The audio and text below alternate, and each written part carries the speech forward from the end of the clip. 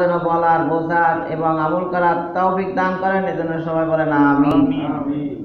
আল্লাহ তাআলা প্রথম আয়াতে ইরশাদ করেন লাম ইয়াকুনিল লাযীনা কাফারু মিন আহলিল কিতাবি ওয়াল মুশরিকিনা মুনফাকিনা হাত্তা তাআতিয়াহুমুল বায়িনা আহলি কিতাব ও মুশরিকদের মধ্যে যারা কাফের ছিল তারা প্রত্যাবর্তন করত না। যতক্ষণ না তাদের কাছে সুস্পষ্ট প্রমাণ আসত। দ্বিতীয় নম্বর আয়াতে বলেন রসুল মিনাল্লাহি আল্লাহর একজন রসুল যিনি আবৃত্তি করতেন পবিত্র সহিফা। তিন নম্বর আয়াতে বলেন, ফিহা কুতুবুল কাইয়িমা, যাতে আছে সঠিক বিষয়বস্তু। তো এটা সুরা আল বাইয়িনা এটা সূরাতুল কদরের পরেই এই সুরা বিন্যাস করা হয়েছে। সূরা কদরের পূর্বে সুরা ছিল সুরাতুল আলাক। এই সুরা আলাক ও সুরা আল কদরের পরই এই সুরা আল বাইয়িনা কে স্থান দেওয়া হয়েছে। এটা একটা অত্যন্ত তাৎপর্যপূর্ণ বিষয় কারণে। কারণ সুরা আলাকের মাধ্যমে ওহির সূচনা করা হয়েছে। সুরা আলাকের প্রথম পাঁচটি আয়াত সর্বপ্রথম গারে হেরার ভিতরে কি ওহি হিসাবে অবতীর্ণ হয়েছে। আর সূরা কদরে সেই ওহি কোন মাসে এবং কোন রাতে অবতীর্ণ হয়েছে তা জানানো হয়েছে। এবং এই সূরায় আলোচনা করা হয়েছে যে মানবতার মুক্তির সনদ হিসাবে যে কিতাব অবতীর্ণ হয়েছে, সেই কিতাবের সাথে একজন রাসূল প্রেরণ ও অপরিহার্য। এই কথাটি আলোচ্য সূরায় বিস্তারিতভাবে আলোচনা করা হয়েছে। কারণ যে কিতাব মানব জাতির মুক্তির লক্ষ্যে অবতীর্ণ হয়েছে, সেই কিতাবের শিক্ষার বাস্তব অনুশীলন করে দেখানোর জন্য একজন রাসূলের প্রয়োজন অপরিহার্য। তো ইমাম আহমদ রহমতুল্লাহ আলাই আনাস ইবনে মালিক রাজি আল্লাহ তালাহতে বর্ণনা করেছেন যে রাসূল সাল্লাহ আলিয়াসাল্লাম উবাই ইবনে কাব রাজি আল্লাহ তালাহুকে বললেন, নিশ্চয়ই আল্লাহ তালা আমাকে আদেশ করেছেন যে আমি যেন তোমাকে এ সূরাটি পাঠ করে আমাকে শোনাতে বলি। এই কথা শোনার পরে উবাই ইবনে কাব রাজি আল্লাহ তালাহু বললেন, যে ওগো আল্লাহ রসুল, আল্লাহ তাআলা কি আমার নাম ধরে বলেছেন? আমি আপনাকে এই সূরা পাঠ করে শোনাবো, এই কথা কি আল্লাহ আমার নাম ধরে বলেছেন? তো আল্লাহ রসুল সাল্লাম বললেন হ্যাঁ তোমার নাম ধরেই বলেছেন আল্লাহ। তখন উবাই ইবনে কাব রাদি আল্লাহ তালু খুশিতে কেঁদে ফেললেন। এটা মুসনাদে আহমদ, বুখারি শরীফ, মুসলিম শরীফ, তিরমিজি শরীফ, নাসাই শরীফের ভিতরে এই হাদিসটা আছে। তাহলে সুরা আল বাইয়েনা এর ভিতরে মূল আলোচনাটাই হলো কি? রাসূল পাঠানোর প্রয়োজনীয়তা কি? সুরায় আলাকে কি ছিল? ওহির সূচনা। সুরাতুল কদরে কি ছিল? কখন ওহি নাজেল হয়েছে? সুরাতুল বাইয়েনার ভিতরে কি বলা হয়েছে? কেন কোরআনের সাথে আবার রাসুল প্রেরণ করার প্রয়োজনীয়তা? কেন প্রয়োজন হলো? মানে রাসূল না পাঠাইয়া সরাসরি কিতাব পাঠাইলেই তো চলতো মনে হয়। না, আসলে রাসূল পাঠানোর প্রয়োজনীয়তা আছে, সেটাই এই সুরার ভিতরে কি আলোচনা করবেন। তো আল্লাহ তাআলা এই সূরার শুরুতেই বলেন লামিয়া কুনিল্লাযিনা কাফারু মিন আহলিল কিতাবি ওয়াল মুশরিকিনা মুনফাকিনা হাত্তা তাআতিয়াহুমুল বায়িনা আহলে কিতাব ও মুশরিকদের মধ্যে যারা কাফের ছিল, তারা প্রত্যাবর্তন করত না, যতক্ষণ না তাদের কাছে সুস্পষ্ট প্রমাণ আসত। আগের আসমানি কিতাব তাওরাত, ইনজিলের ভিতরে প্রতিশ্রুতি ছিল যে সর্বশেষ একজন কি আসবে? রসুল আসবেন। যার প্রতিশ্রুতি পূর্ববর্তী কিতাব সমূহে দেয়া হয়েছে সেই রসুলের অপেক্ষায় ছিল। যে এরকম একজন রসুল আসলে আমরা কি মুসলমান হয়ে যাব? তো এখানে বলতেছেন লামিয়া কুনিল্লাদিনা কাফারু মিন আহলিল কিতাব ওয়াল মুশরিকিন। রাসূল আসার আগে আহলে কিতাব আর মুশরিকিনদের থেকে কিছু কিছু লোক কাফের ছিল তা নয়। বরং এখানে মিন মানি হতে মিন এই অর্থে ব্যবহৃত হয় নাই, বরং এটা বয়ানিয়া বলা হয়, মিনে বায়ানিয়া, মিনে তবিজ আছে একটা আর মিনে বায়ানিয়া আছে একটা, এটা গ্রামারের হিসাব কিতাব। অর্থাৎ এখানে আহালে কিতাব আর মশিকিন সবাই কাফেরের ভিতরে অন্তর্ভুক্ত ছিল। যতদিন পর্যন্ত এই রসুল না আসত, ততদিন পর্যন্ত তারা কি কাফেরই থাকতো? কিন্তু রসুল আসার পরে কেউ কেউ আহালি কিতাব থেকেও মুসলমান হয়েছে মোর্শেকদের থেকেও কি হয়েছে? মুসলমান হয়েছে। তাহলে বোঝা গেল যে সকল কিনা সকল আহলে কিতাব মুসলমান হয় নাই, সকল মোর্শেকেরাও কি মুসলমান হয় নাই। কিন্তু নবী না আসলে কেউই কি হতো না, মুসলমান হতো না। তো এখানে যেহেতু আহলে কিতাব মোর্শেক বা কাফের আর মোর্শেকিনরাও কাফের, তো আলাদা করে বলার কি যুক্তিকতা? কারণ আল্লাহ তো ডালাভাবে বলতে পারতো যে আল্লাহর রসুল না আসা পর্যন্ত গোটা পৃথিবীর সবাই কাফের ছিল। সেইটা না বললে আল্লাহ বাঘ বাঘ করে বললেন, আহালে কিতাব আর মোর্শেকিন এরাই কাফের ছিল।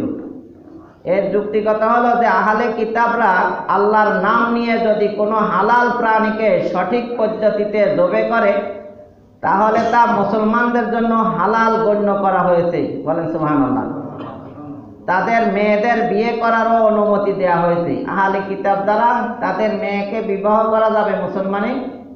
আবার তাদের জবাইকৃত পশুর গোস্ত খাওয়া যাবে। কিন্তু মোর্শেকদেরটা খাওয়া যাবে না। অন্যদিকে মোর্শেকদের জবে করা প্রাণীও হালাল নয় এবং তাদের মেয়েদেরকে বিয়ে করাও অনুমতি দেওয়া হয় নাই। আহলে কিতাব ও মোর্শেক উভয় দলই কুফরি কর্মকাণ্ডে জড়িত হলেও দুই দলকে দুটি পৃথক নাম দেওয়া হয়েছে। যাদের কাছে আগের নবীদের আনা কোনো আসমানি কিতাব ছিল, তা যত বিকৃতি করায়, বিকৃতি আকারেই থাকুক না কেন, তারা তা মেনে চলতো। তাদেরকে বলা হয় আহলে কিতাব। আহলে কিতাব বলতে বোঝায় ওই তাওরাত আর ইঞ্জিলের দাবিদার যারা অনুসারী, যদিও আসল তাওরাত আর ইঞ্জিল নাই পৃথিবীতে, বিকৃতি হয়ে গেছে অর্থগত এবং শব্দগত দিক দিয়া।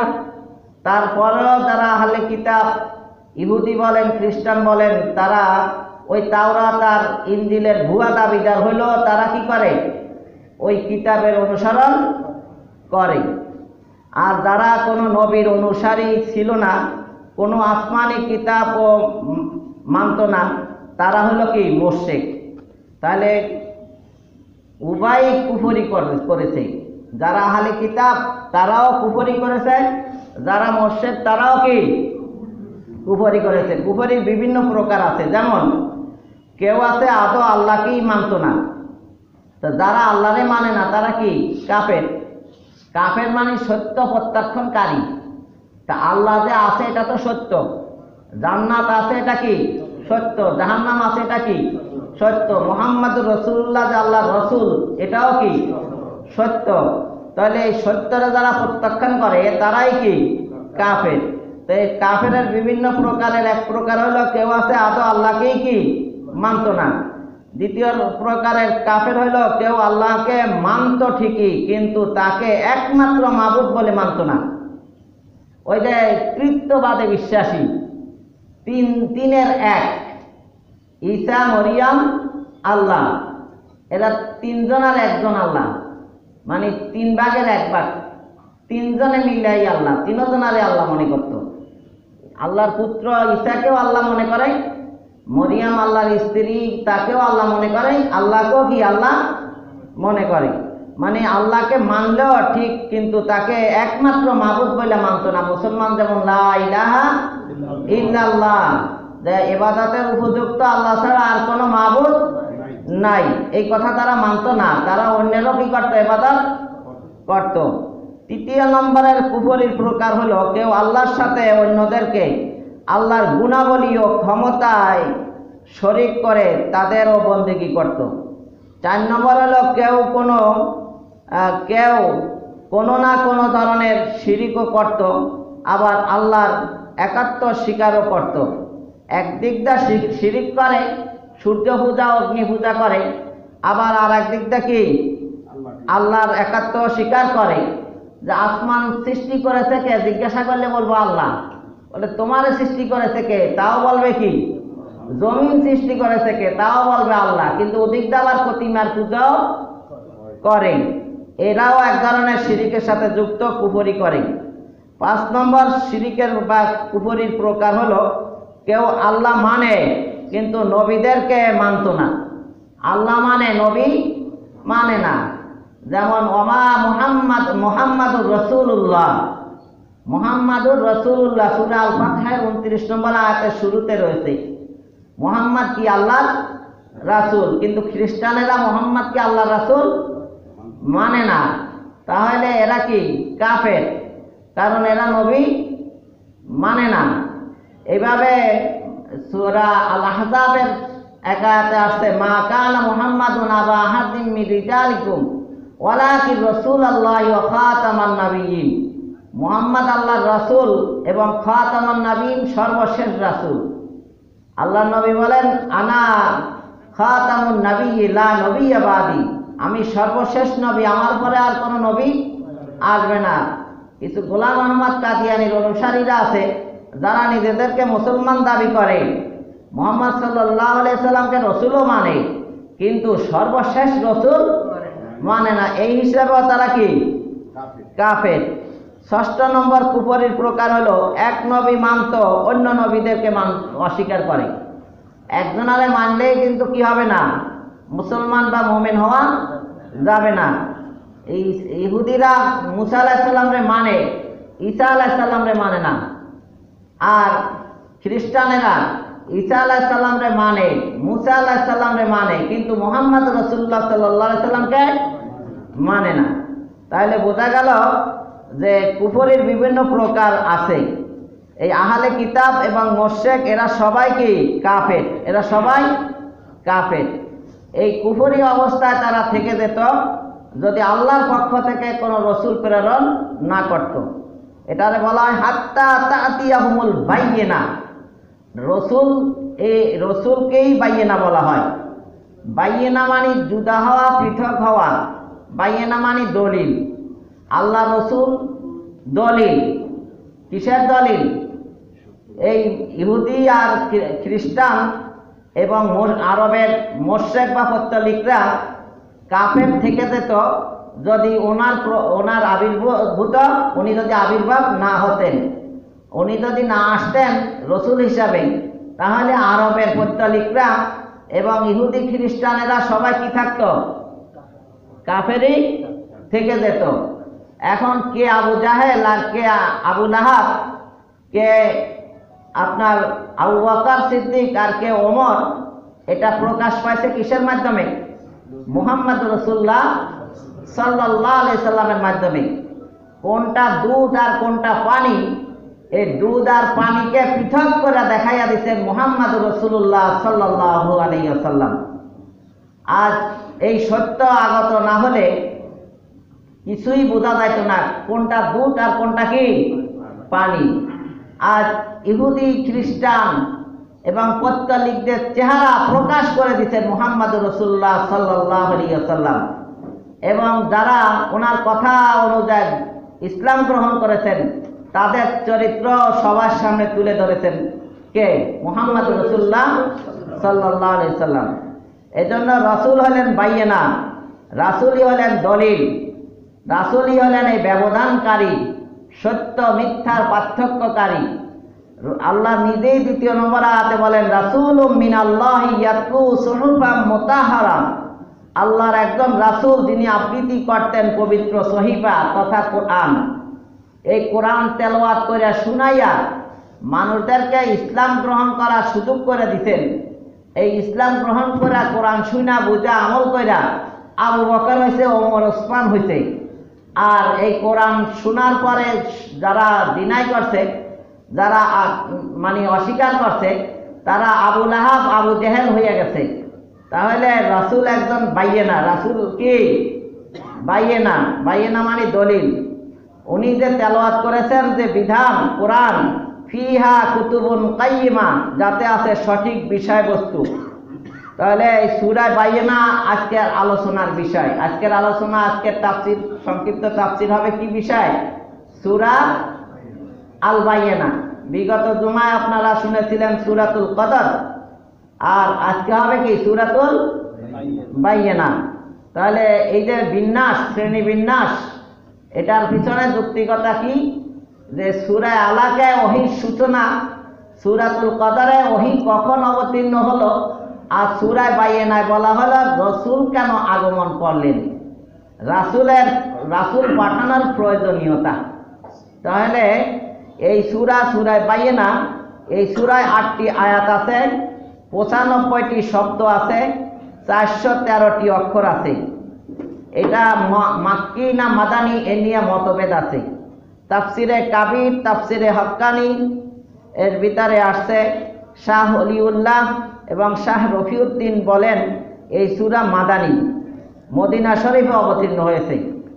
আর তাফসিরে কাশ্যাপ তাফসি- তাফসিরে বাইজাবি, তাফসিরে জালালাইন ও হুসাইনিতে বলেন যে এই সুরা মক্কি বা মক্কা শরীফে অবতীর্ণ হয়েছে। মূলত সুরাতুল কদর নিয়েও মতনৈক্য ছিল। ওটা কি মাদানি না মাক্কি? তবে মতনৈক্য যাই হোক, বেশি সংখ্যক মুফাসরিন একরাম সুরাতুল কদরকে মাক্কি সাব্যস্ত করেছেন। আর এখানেও মতনৈক্য যাই হোক, বেশিরভাগ সংখ্যক লোক এই সুরাকে মাদানি বলেছেন। তাহলে এই সুরাতুল কদর আর সুরাতুল বাইয়েনা, এগুলা কেউ কেউ বলেছেন মাক্কি কেউ বলেছেন মাদানি। এই বলার কারণটা কি? যে যদি মক্কা অবতীর্ণ হয়ে থাকে, তো এটা আবার মদিনায় যাইয়া আল্লাহ রসুল তেলাওয়াত করেছেন যারা নব মুসলিম আহলে কিতাবের তারা মনে করছেন যে এটা মনে হয় এই মাত্রই। সবে মাত্রই কি হলো? অবতীর্ণ হলো। তারা এটারে মাদানি বলা শুরু করে দিচ্ছেন। অথচ এই সুরাটা মক্কার ভিতরেও মুসলমানেরা কি শুনে আসছিল? এই জন্য কেউ কেউ বলে মাক্কি, কেউ কেউ বলে কি? মাদানি। এই সুরার সানে নজুল হলো মদিনার ইহুদিগণ ও মক্কার অংশীবাদীগণ তৌরাতের প্রতিশ্রুত শেষ পয়গম্বারের প্রতীক্ষায় ছিল। শেষ পয়গম্বারের আবির্ভাব হওয়া সত্ত্বেও তারা পাপ কার্য হতে বিরত হয় নাই। সেই জন্য এই সুরা নাজিল হয়েছে। এই সুরা নাজিল হওয়ার কারণ কি? কারণ এটাই যে তাওরাতের ভিতরে আসছে যে সর্বশেষ রাসূল আসবেন খেজুর প্রধান দেশে। সেখানে অবস্থা এই এই এবং ওখানে যে সর্বশেষ নবী আসবেন, তার নাম হবে মোহাম্মদ। তার পিঠের পিছনে থাকবে মহারে নবুয়াত বিভিন্ন রকমের আলামতের কথা তাওরাত কিতাবে কি উল্লেখ আছে।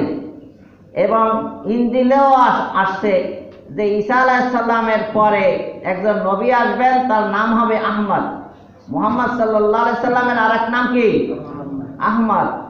তো এখানে দেখা যায় যে ইহুদি হোক আর খ্রিস্টান হোক, তাদের কিতাবের বিবরণ অনুযায়ী মোহাম্মদ সাল্লাহ আলাইসাল্লামকে চিনতে পেরেছে।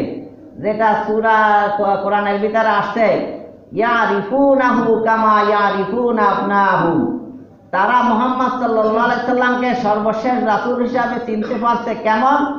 যেমন বাবা তার সন্তানকে চিনতে পারে। এই কথা বলেন নাই যে সন্তান বাবাকে চিনতে পারে। কারণ সন্তান বাবাকে চেনে তো বিবাহের পরে আর বাবা কিন্তু সন্তানকে চেনে জন্মলগ্ন থেকেই। কোথায় তিলক আছে, কোথায় দাগ আছে, ওর স্বভাব কি, চরিত্র কি, ওর সব কিছু বাবা চেনে। সন্তানকে ভালো করে চেনে কে বাবা? বাবারে কিন্তু সন্তান ভালো করে চেনে না। কিন্তু সন্তানকে বাবা ভালো করেই কি?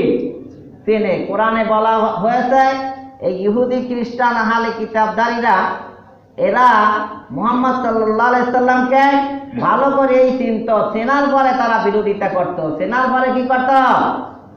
বিরোধিতা করত। কেন বিরোধিতা করত? সেটার কারণ হলো যে তাদের বংশগতভাবে এই সর্বশেষ নবী আসে নাই। কারণ ইব্রাহিম আলাইসাল্লামের দুটি সন্তান ছিল। বড় সন্তানটির নাম ছিল ইসমাইল আলাইসাল্লাম আর ছোট ছেলেটির নাম ছিল ইসাক আলাইসাল্লাম ঈসা আলাইসাল্লাম পর্যন্ত যত নবী আসছেন, এই ইসাক আলাহিসাল্লামের বংশ থেকে আসছেন। কারণ ইসাক আলাহিসাল্লামের দুটি সন্তানের একটি সন্তানের নাম ছিল ইয়াকুব।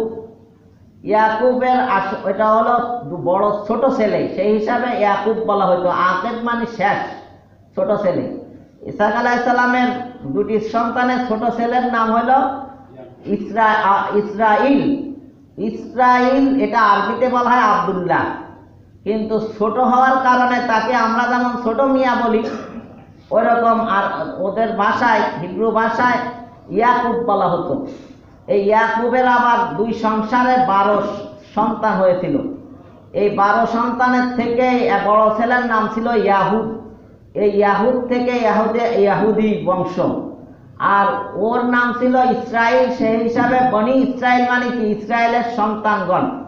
এই বনি ইসরায়েলের থেকেই যুগে যুগে নবী রাসুল, অসংখ্য নবী রাসুলগণ পাঠাইছিলেন প্রায় সাড়ে তিন হাজার বছর পর্যন্ত। ঈসা আলাইসাল্লাম পর্যন্ত সকল নবীরা কোন বংশের? বনি ইসরায়েলের ইসমাইল আলাইসাল্লামের বংশ থেকে একটা নবীও আসে নাই। সর্বশেষ নবী মোহাম্মদ রসুল্লাহ সাল্লাহ আলাইসাল্লাম ওনার বংশে এসেছেন। যাদের বংশে যুগ যুগ ধরে কোনো নবী রাসুল ছিল না, তাদের বংশে এই সর্বশেষ রসুল আসছে।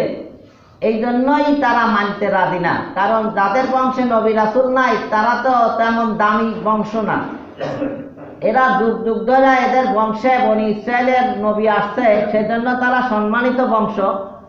এই ইসমাইল আলাইসাল্লামের বংশধরদেরকে পাত্তা দিত না, মূল্যায়ন করতো না। হঠাৎ করে আর সর্বশেষ নবী তাদের বংশে আসার কারণে, এই বংশগত জিদের কারণে তাওরা তার ইঞ্জিলের বিবরণ অনুযায়ী সত্য হওয়ার পরেও ইচ্ছা করে আই এই বংশগত প্রতিহিংসায় মোহাম্মদ রসুল্লাহ সাল্লাহ সাল্লামকে নবী হিসাবে মানে নাই। তো এই সূরা কখন নাজিল হয়েছে? সূরাটি আলোচ্য বিষয়ের মধ্যে মক্কা এবং মদিনায় উভয় স্থানে নাজিলেরই আলামত রয়েছে। তবে মদিনায় নাজিল হওয়ার ব্যাপারে মতের আধিক্য রয়েছে। কারণ মক্কা, এখানে বলা হয়েছে কি, শুরুতে লামিয়া কুনিল্লাদিনা কাফারু মিন আহলিল কিতাবি ওয়াল মুশরিকিন। মুশরিকিন তো মক্কা পত্তলিকরা আর আহলে কিতাব তাওরাতার অনু- অনুসারী ইহুদিরা কোন জায়গা? মদিনা। তাহলে আয়াতের ভিতরে মক্কারও ইঙ্গিত পাওয়া যায়, মদিনারও কি? ইঙ্গিত পাওয়া যায়। তবে বেশিরভাগ লোকের মত হলো যে এটা মাদানী সুরা। সুরার আলোচ্য বিষয়, সুরাটির মৌলিক আলোচ্য বিষয় হলো কয়েকটা। এক নম্বরে, মুহাম্মদ রসুল্লাহ সাল্লাহ আলিয়াল্লাম সত্য দিন ও সত্য কিতাবের উপস্থাপক এবং সত্যের সুস্পষ্ট প্রমাণ আল বাইয়েনা। আল বাইয়েনা বলতে মোহাম্মদ রসুল্লাহ সাল্লাহ সাল্লামকে বুঝাইছেন দ্বিতীয় আয়াতি। দ্বিতীয় নম্বর আলোচ্য বিষয় হলো মোহাম্মদ রসুল্লাহ সাল্লাহ আলাইসাল্লাম আল বাইয়েনা হবার দলিল হলো তার আল কোরআন উপস্থাপন। উনি জীবনে কোনোদিন লেখাপড়া করেন নাই। কারও কাছে কোনোদিন কিছু শেখেন নাই। এই ইয়াসিন আল কোরআনিল হাকিম, বিজ্ঞানময় কিতাব কীভাবে পেশ করতে পারলেন? এই কোরআন উপস্থাপনার মাধ্যমেই বোঝা যায় যে উনি কি বাইয়ে না, উনি সত্যিকারের কি একজন হক আর বাতিলের পার্থক্যকারী। তিন নম্বর আলোচ্য বিষয় হলো, মানুষ কার দাসত্ব উপাসনা করবে এবং কীভাবে করবে তা সুস্পষ্টভাবে উপস্থাপনা করা হয়েছে এই সুরার ভিতরে। চার নম্বর আলোচ্য বিষয় হলো, তার দাসত্ব ও উপাসনা উপেক্ষা করার পরিণতি কি তা বর্ণনা করা হয়েছে। যারা আল্লাহর দাসত্ব গোলামি করবে না, তাদের পরিণাম যে জাহান্নাম, আর যারা তার দাসত্ব গোলামি করবে, তাদের যে শেষ ফল জান্নাত, এই কথাই সুরার ভিতরে কি আলোচনা করা হয়েছে। পাঁচ নম্বর আলোচ্য বিষয় হলো তার দাসত্ব উপাসনা করার সুফল কি তা বর্ণনা করা হয়েছে। বাইয়েনা কে এবং কি? এই আলোচনা, এই সুরার নামকরণ করা হয়েছে আল বাইয়েনা সুরার এই প্রথম সুরার প্রথম মানে আয়াতের প্রথমে সুরার প্রথম আয়াতটির শেষেই আসছে বাইয়েনা লামিয়া কুনিল্লাদিনা কাফারু মিন আহলিল কিতাবি ওয়াল মুশরিকিনা মুনফাকিনা হাত্তা তাতিয়াহুমুল বাইয়িনা এই সর্বশেষ শব্দ বাইয়েনা থেকেই কি? প্রথম আয়াতের সর্বশেষ শব্দ বাইয়েনা থেকেই এই সূরাটির নামকরণ করা হয়েছে কি? সুরাতুল বাইয়েনা আল বাইয়েনার শাব্দিক অর্থ হলো সুস্পষ্ট প্রমাণ। সুরাত দ্বিতীয় এবং তৃতীয় আয়াতে আল বাইয়েনার একটা আয়াতে না, তৃতীয় আয়াতেও পরিচয় দেওয়া হয়েছে। এভাবে সেই বাইয়েনা বা সুস্পষ্ট প্রমাণ হলো একজন রাসূল যে তেলাওয়াত করছে পবিত্র গ্রন্থ যাতে লেখা রয়েছে সঠিক সুদৃঢ় বিধান। এখানে আল বাইয়েনা বা সুস্পষ্ট প্রমাণ বলতে প্রথমত আল্লাহ রসুল এবং সেই সাথে রসুলের প্রতি অবতীর্ণ। আল্লাহর মহাসত্যবাণী আল কোরআন উভয়কে বোঝানো হয়েছে। বাইয়েনা আল্লাহ রসুল বাইয়েনা আল কোরআনও। শাহরু রমাদান আল্লাযী উনজিলা ফীহিল কুরআন হুদাল লিন-নাস ওয়া বায়্যিনাতুম মিনাল হুদা। বায়্যিনাত কোরআনকে কি বলা হয়? বাইয়েনা তাহলে কোরআনও বাইয়েনা আবার এই এই সুরার দ্বিতীয় আয়াতে বলা হয়েছে, রসুলুম মিনাল্লাহি ইয়াতলু সুহুফাম মুতাহহারা। এই বাইয়েনার পরিচয় দিতে দেয় দ্বিতীয় আয়াতে। রাসূলের কথাও বলা হয়েছে, উনিও কি? বাইয়েনা মুহাম্মাদুর রাসূলুল্লাহ সাল্লাল্লাহু আলাইহি সাল্লাম আল বাইয়েনা হবার প্রমাণ কি? মোহাম্মদ রসুল্লাহ সাল্লাহ সাল্লামকে আল বাইয়েনা বা স্পষ্ট প্রমাণ বলা হয়েছে। এর কারণগুলো হলো এক নম্বর, তার নবুয়াত লাভের আগের ও পরের জীবন। মোহাম্মদ সাল্লাহ সাল্লাম যে সত্য আর মিথ্যা, হক আর বাতেলের পার্থক্যকারী, ওনার জীবনী পড়লেই বুঝতে পারবেন যে উনি সত্য আর মিথ্যার পার্থক্য কইরাই দিছেন। ইনসাফ, সাম্যতা, সাম্য ওনার জীবনেই ছিল। অন্যায়, অবিচার তার জীবনে ছিল না। কোনো কর্মই তিনি অন্যায়ভাবে কোনো কাজই কি করেন নাই। শিশু অবস্থায় তিনি তার দুধ মা হালিমা সাদিয়ার ডান স্তনে দুধ পান করেছিলেন। তাকে একটু বড় হওয়ার পরে জিজ্ঞাসা করা হলো, মুহাম্মদ, তোমাকে শত চেষ্টা করেও বাম স্তনের দুধ পান করাইতে পারি নাই কেন? তিনি বললেন, আমার একটি দুধ ভাই আছে, আব্দুল্লাহ। তার আমি যদি বাম স্থানের দুধ পান করি, তাহলে তার হক নষ্ট হবে। সেজন্য আমি কখনো ইচ্ছা করে বাম স্থানের দুধ পান করিনি বলেন সুহান আল্লাহ শিশু অবস্থায় ওনার ভিতরে সাম্য, ন্যায়, ইনসাফ রয়েছেন বলেন সোহান আল্লাহ যেহেতু দুধের কথা আসছে এই হিসাবে একটা কথা না বললে নয়। বর্তমানে কিন্তু একটা এনজিও নন গভর্নমেন্ট অর্গানাইজেশন এই সংস্থা কি করতেছে? হিউম্যান মিল্ক ব্যাংক তৈরি করতেছে। এটার দ্বারা কিন্তু অনেক সমস্যা সৃষ্টি হবে।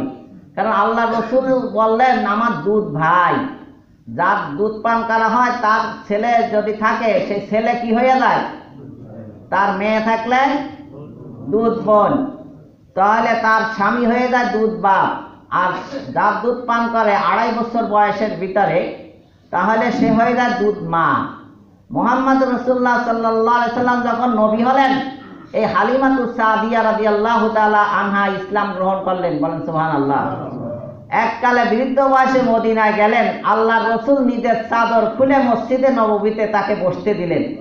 সবাই তাকায় এল বৃদ্ধ মহিলা, তার জন্য আল্লাহ রসুলের গায়ের চাদর বিছাইয়া দিলেন। ইনি কে? তখন আল্লাহ রসুল নিজেই পরিচয় দিলেন, উনি আমার দুধ মাতা হালিমাতু সাদিয়া রাদি আল্লাহ আনহা বলেন সুহান আল্লাহ তাহলে আল্লাহ রসুল দুধ মায়ের সম্মান করেছেন কিনা?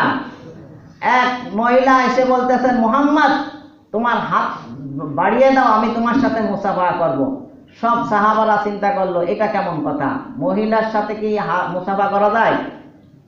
যায়, যাদের সাথে দেখা দেওয়া যায়, যাদেরকে বিবাহ করা যায়, তাদের সাথে।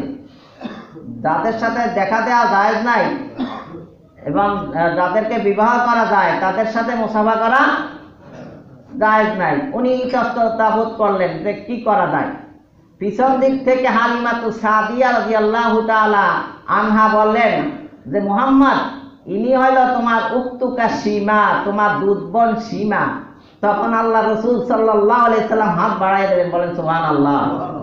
তাহলে দুধ বোন দুধ ভাই সম্পর্ক ভাই বোনের মতো করে ইসলামে দিচ্ছেন বলেন সুবহান আল্লাহ এখন ওই হিউম্যান মিল্ক ব্যাংক তৈরিকারীরা যেভাবে যাদের বাচ্চা মারা যায় এদের দুধ তো ফেলে দিতে হয় ওরা এটা টেকনিকে একটা ব্যাংক তৈরি করতে আছে। টাকার ব্যাংক না কিসের ব্যাংক দুধের ব্যাংক যাদের বাচ্চার মা মারা যাবে তারা ওখান থেকে দুধ এনে এনে তার বাচ্চা লালন পালন করবে। এইভাবে জগা খিচুড়ি হয়ে গেলে কখনো নিজের অজান্তে তার দুধ বোনকেও বিয়ে করে ফেলবে। তাহলে কি ইসলাম ঠিক রইল নাকি হারাম ভাবে তার জীবনযাপন হলো? বলেন। তাহলে এটা কি কখনো এটা ইসলামী একটা রাষ্ট্র?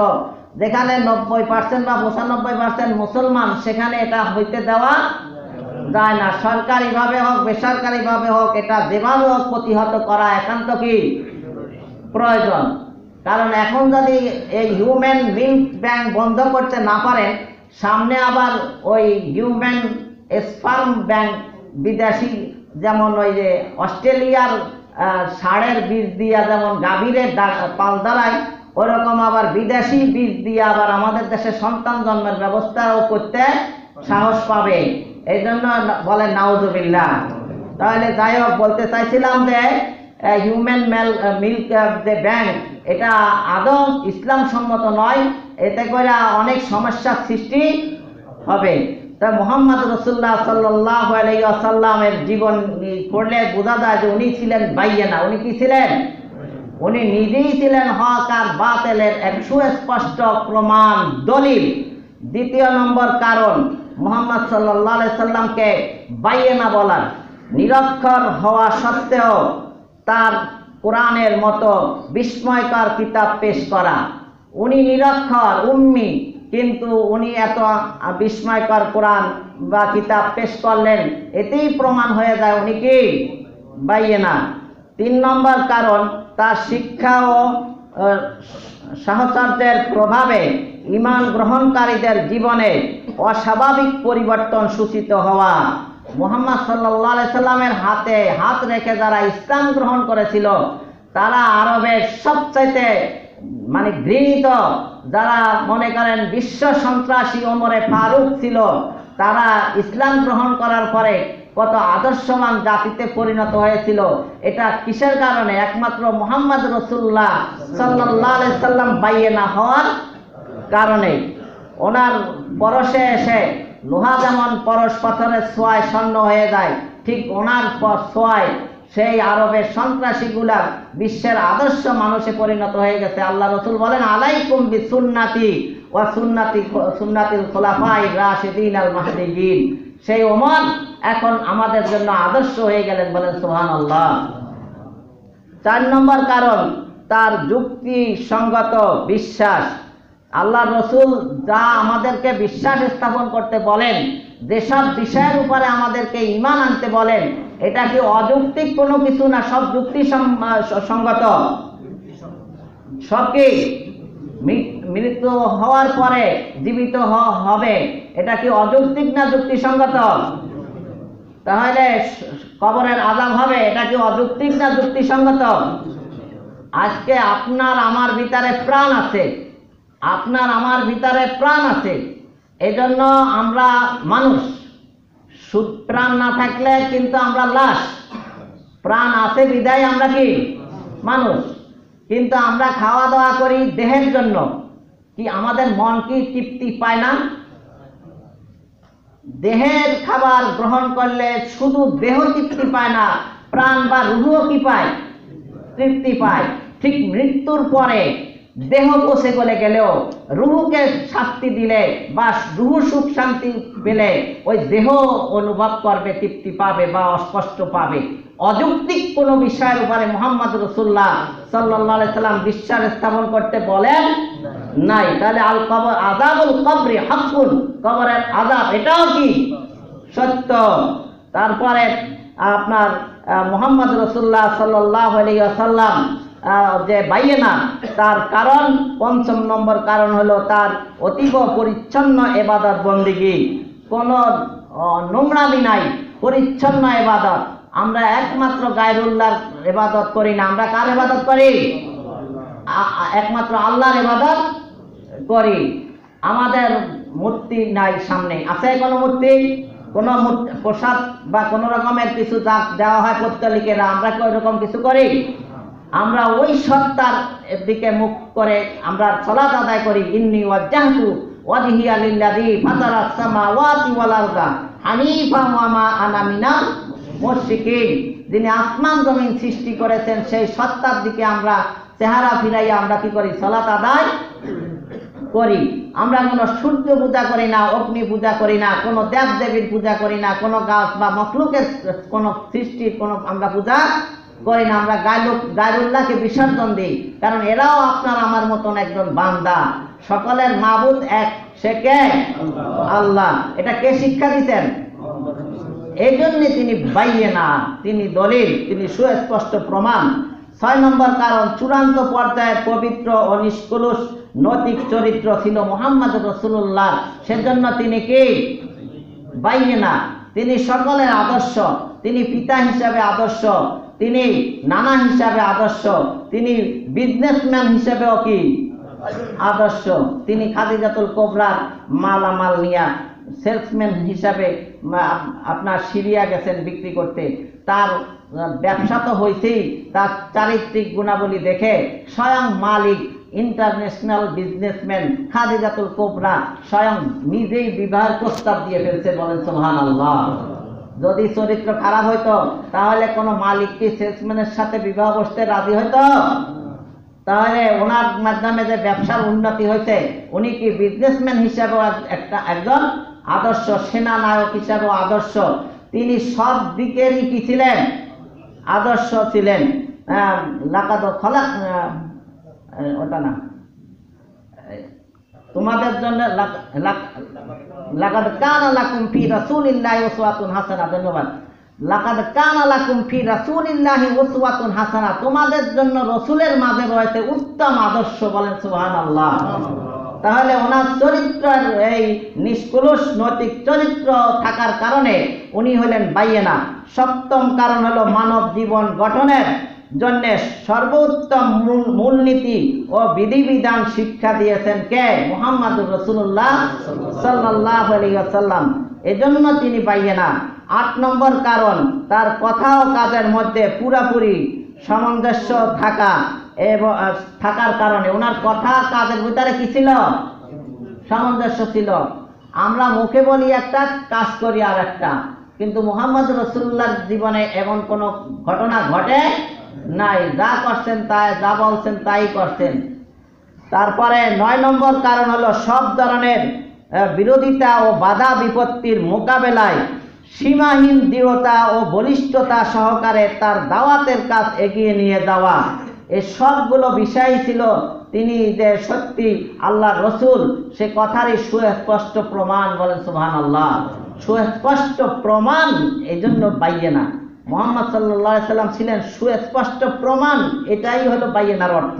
মোহাম্মদ সাল্লাহ সাল্লামকেও বলা হয় বাইয়েনা। কোরআনও বাইয়েনা, রাসুলও কি বাইয়েনা। যত বিরোধিতা করছে, আপনি হলে তো ল্যাস গুটাইয়া বাসায় চলে আসতেন কিন্তু একজন মানুষ, মোহাম্মদ রসুল্লাহ সাল্লাহ সাল্লাম গোটা বিশ্ববাসী আল্লাহ বলতে আছেন লামিয়াকুনিল্লাযিনা কাফারু মিন আহলিল কিতাবি ওয়াল মুশরিকিনা মুনফাক্কিনা হাত্তা তাতিয়াহুমুল বাইয়িনা এই মুহাম্মদ রাসূলুল্লাহ যদি আবির্ভাব না হতো, তাহলে গোটা বিশ্ব, কেউ আহলে কিতাবদারি, কেউ পস্তলিক কেউ মুজসি অগ্নিপূজক, গোটা বিশ্ব তাহলে শিরিকের সাথে কুফরির ভিতরে লিপ্ত থাকতো। তাহলে কে বাইর করল তাদেরকে তাওহীদ একাত্মবাদের দিকে নিয়ে আসলো কে? মোহাম্মদ রসুল্লাহ সাল্লাহ সাল্লাম। তো যাই হোক, ধারাবাহিকভাবে আলোচনা হবে, আজকে মাত্র শুরু করলাম। এখন আমাদের সামনে আর একটা বিষয় আসছে, সেটা হলো বর্ষবরণের নামে উন্মত্ততা এটা কোনো কল্যাণকর নয়, অকল্যাণকর। মূলত ইংরেজি নতুন বছরকে বরণ করার জন্য বিদায়ী বছরের শেষ রাত ও নতুন বছরের প্রথম প্রহরে এই উৎসব উদযাপন করা হয়। আসলে এটি কোনো মুসলিম ঐতিহ্য বা সংস্কৃতির অংশ নয়। কথিত বর্ষবরণের এই রাতে নারী পুরুষদের অবাধ মেলামেশার সুযোগ করে দেয়া হয়। উৎসবের নামে আতস ও পটকাবাদী, বেহুদাপনা, মাদক সেবন, উচ্ছৃঙ্খলতা, বেহায়াপনা, পথে পথে নারী পুরুষদের উন্মাদ নৃত্য শুধু ইসলামী ঐতিহ্যের নয়, বরং কোনো সভ্য সমাজে গ্রহণযোগ্য হতে পারে না। ইসলাম নারী পুরুষের অবাধ মেলামেশাকে কোনোভাবেই স্বীকৃতি দেয়নি। আর থার্টি ফার্স্ট নাইট উদযাপনের নামে যা হয় তা জেনাবে বিচারকেই উৎসাহিত করে। ইসলামে বলছে জেনা জেনাবে বিচারের কাছেও যেও না। মূলত থার্টি ফার্স্ট বা বর্ষবরণের নামে উন্মত্ত তার অনুমোদন ইসলামে নেই। বরং এসব বিজাতীয় ঐতিহ্য সংস্কৃতির অংশ। আল্লাহ আমাদেরকে হেফাজত করুক। যারা সুন্নত করেন সুন্নত করেন আমা আল্লাহ